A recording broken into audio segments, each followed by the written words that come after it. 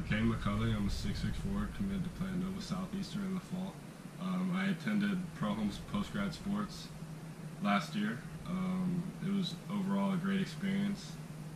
Uh, we had over 50 college coaches into the gym to watch us work out and practice and train.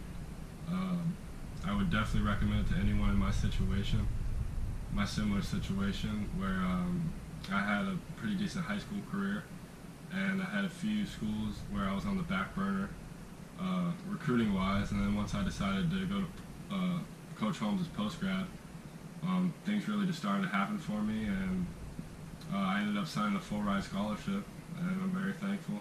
So I would definitely recommend it for anyone in my situation.